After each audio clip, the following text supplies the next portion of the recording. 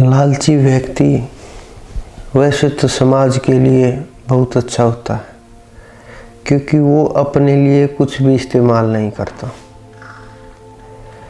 वो सब कुछ संचय ही करता है, इकट्ठा ही करता है।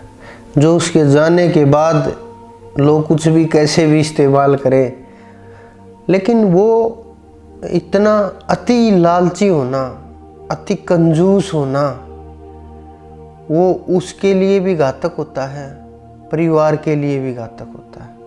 वो न खुद जी पाता है, न दूसरे को जीने देता है। कि बिजली आई, भाग करके लाइट बंद करना। रात में, पूरे घर में बस केवल एक बल्ब को जलाना। कूलर एसी घर में होते हुए भी पंखा तक न चलाना। कि वो घर में प्रवेश हो और घर के सारे स्विच ऑफ़ एकदम से। परिवार वाले भाग करके कि अरे, आ गए। एकदम से बंद कर दो, नहीं तो डांटेंगे, फटकारेंगे और लड़ाई करेंगे। ऐसे व्यक्ति अपना और परिवार का जीना हराम कर देते हैं। इतनी परेशानी पैदा करते हैं एक एक पैसे के लिए। उनके पास सब कुछ होता है। बैंक बैलेंस भी होता है, नौकरी भी होती है। वैसे पूर्वजों की संपत्ति भी अच्छी होती है। घर में और भी नौकरी करने वाले लोग होते हैं बिज़नेस भी करते हैं।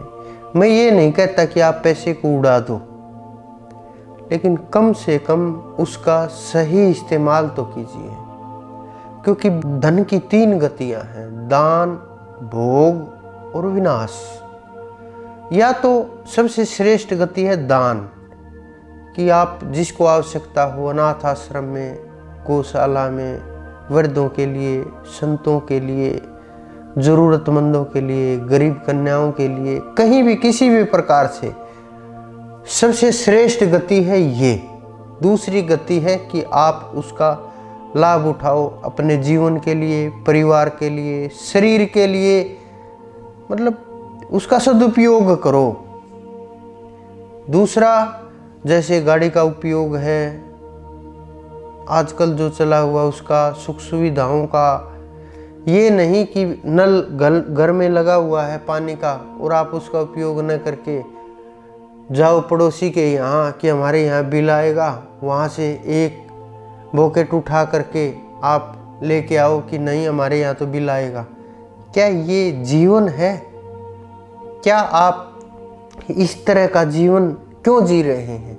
क्यों चाहते हैं आप इस प्रकार का जीवन? क्या काम आएगी ये संपत्ति आपके? क्या काम आएगा ये पैसा आपके?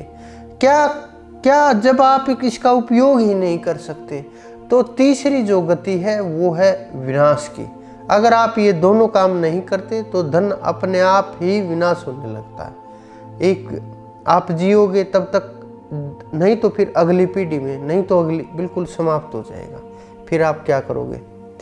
जाने के बाद ये क्या काम आएगा? क्या आप इसको साथ लेकर के जाओगे क्या? कुछ लोग तो इतने कंजूस होते हैं, इतने कंजूस होते हैं कि अपना तीन चार वर्ष तक एक ही कपड़े, एक ही वस्त्र में निकाल देते हैं। आप नंगे पैरों घूमते रहते हैं, कोई पुराने वस्त्र दे देते, उसको पहन लेते हैं। उनको ये मालूम नहीं है कि क्या पता उस जिसने ये वस्त्र मुझे दिए, उसको क्या रोग हो, शरीर में एलर्जी वगैरह हो, और भी बहुत प्रकार के रोग होते हैं, चर्म रोग होते हैं, जो परेशानी पैदा करते हैं। तो ऐसा कंजूस व्यक्ति जीने नहीं देता, किसी भी प्रकार से। हर समय उसको बस संचय करने की, संचय करने की किसी भी प्रकार मिल जाए, बस इकट्ठा कर लो, और इकट्ठा करके सर्प की तरह से उसके ऊपर बैठ जाओ। कि बाहर ना निकले, कि कुछ भी हो जाए, चाहे चमड़ी चली जाए, चाहे जान चली जाए, लेकिन चमड़ी जाए, दमड़ी ना जाए। ऐसे लोग समाज में बहुत हैं।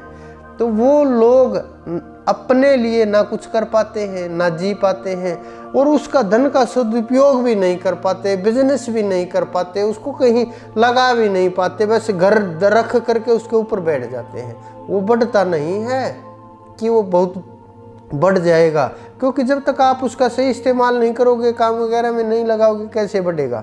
तो अपनी सोच का परिवर्तन कीजिए, जीवन जीने का तरीका बदलिए और इस जीवन से आगे बढ़ करके एक सामान्य इंसान की तरह से धन का सदुपयोग कीजिए।